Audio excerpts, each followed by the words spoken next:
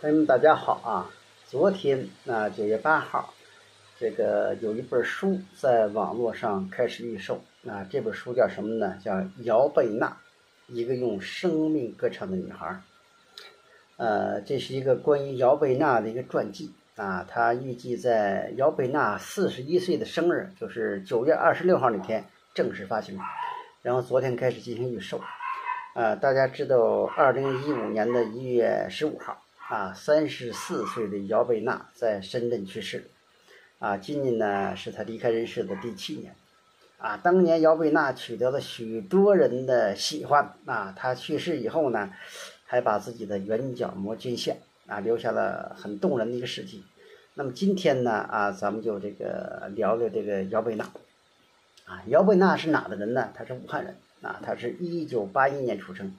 他的父亲呢叫姚峰，是武汉音乐学院的副教授，而且后来是到了深圳，担任了深圳音乐家协会的主席。你包括这个好多个好多的乐手啊，都是他的学生，比如说周笔畅，周笔畅当年就是这个啊他的这个弟子。呃，这个谁，他的妈妈呢？呃，叫李新敏，也是一个优秀的这个歌唱演员。所以说，从小出生在这个艺术之家啊，姚贝娜从小就有一身艺术细胞。从四岁开始，啊，在他爹妈的培养下就开始学钢琴，而且就体现出了超强的音乐天赋啊。九岁的时候，他就能登台演唱，对吧？因为他的爸爸是音乐学院的教授嘛，亲自教他，所以说从小的这个艺术功底非常深厚。九岁就能登台演唱，而且当年参加各种的少儿比赛呀，去就拿奖。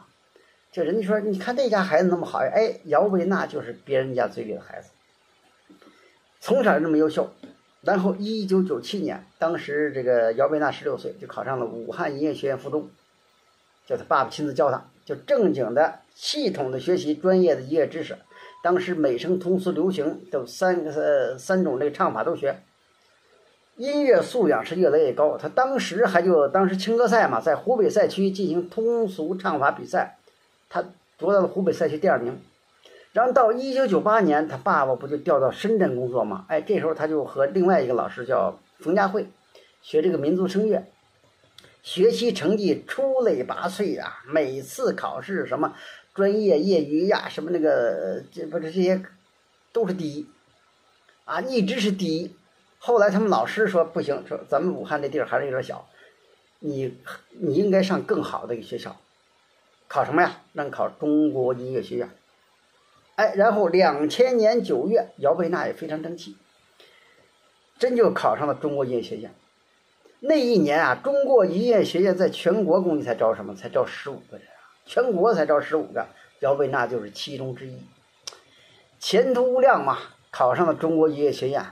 然后在这里呢，更加倍的学习。然后上大学的时候，他就对摇滚乐和流行音乐又倍感兴趣。别看他当时学的是民族声乐嘛，到了北京，摇滚之都啊，对吧？各地遍地都是酒吧的流行歌手，演出的这个场合也多，接触的人也多。哎，他在上学期间就在各个酒吧也唱歌，自己挣自己生活费，我，不需要爸妈养。在北京嘛，他这么好的音乐素养，呃，演出场合又多。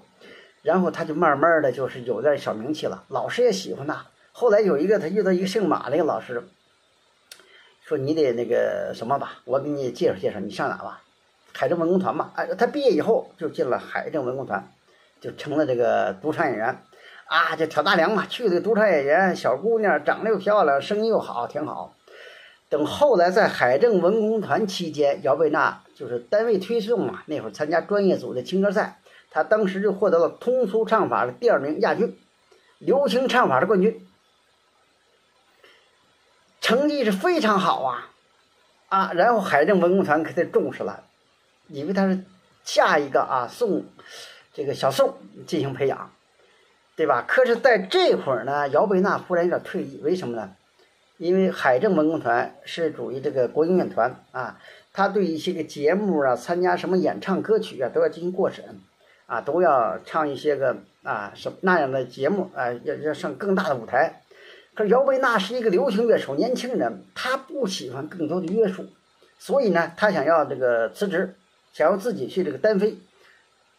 开始他爸他妈就不干嘛，他妈他爸他妈都体制内的，说你这升了海政文工团了啊，你就是按照正规院呃这么院团的发展走吧。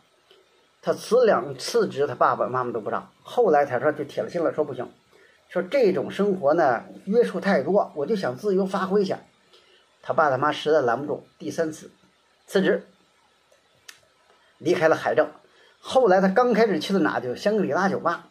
在香格里拉酒吧客栈，当时他那会儿，呃，并不是太太好啊，因为他那个他是一本正经的唱歌的人，他不像有些个歌厅里头会气氛呐，everybody one two three 就这样的歌手啊，他不会搞气氛，他就是一安静的唱歌，所以说他那会儿的挣的并不太多，一晚上就是最低的演出费呗，一二百块钱这样上，可是他很锻炼自己，他觉得这是我的个人的什么。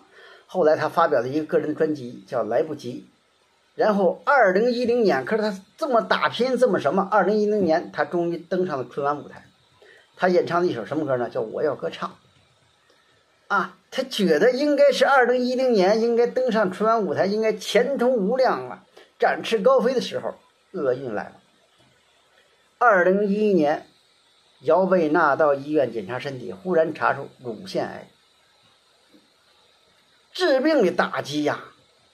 事业刚要成功，年轻的小姑娘查出乳腺癌，哎呀，当时是非常什么的。后来他爸爸就就知道嘛，说他，说他都不说，时时顾及别人的感受，就怕麻烦别人的，都没告诉他爸爸妈妈，就要自己生扛。后来等他这个乳腺癌，大家知道啊，就是早期呢有治疗的希望，他这病发生早期，就。医院发现了，就很快给他做出了这个切除手术，还有整形再造手术。手术当时治疗非常成功，就一切向好的方向发展。哎，姚贝娜就感觉到了重生，也融起了生活的新这个生活的勇气。这个时候，刘欢找到他，没什么原，因当时就有一个热播的电视剧叫《甄嬛传》，刘欢是负责这个《甄嬛传》里的作曲，然后姚呃刘欢就邀请姚贝娜。邀请他，呃，制作就是录制《甄嬛传》的歌曲。当时姚贝娜在恢复期，就说据说身体不能太劳累，他爸爸妈妈坚持不让他录制歌曲。当时刘欢也说说，如果你身体实在不行，咱不唱。说如果身体行，咱们就可以唱，这机会难得。然后他们就问了当时的主治医生，主治医生说没事说你可以不用太累。你也可以像正常一样做你自己喜欢的事呃事情，不不要太累就行。哎，这样姚贝娜就唱了《甄嬛传》的片头曲，这个叫《红颜劫》，还有插曲《普斯曼》，对吧？电视剧出来以后爆红网银屏啊！姚贝娜是跟着唱的歌也红了，可是许多人不知道，对吧？歌红人不红。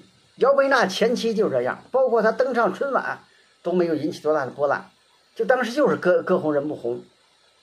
她好像前期没有明星命的似的，哎，然后等她那个在休养期间呢，也没停脚步。她二零一二年她录制第二张第二张专辑叫什么叫小头发，然后就到了二零一三年，大家知道二零一三年他参加的那届中国好声音，对吧？他一唱歌，那英转头，他们一转头说这个，说他就是唱《甄嬛传》那个人呐，大家才知道说唱唱《甄嬛传》。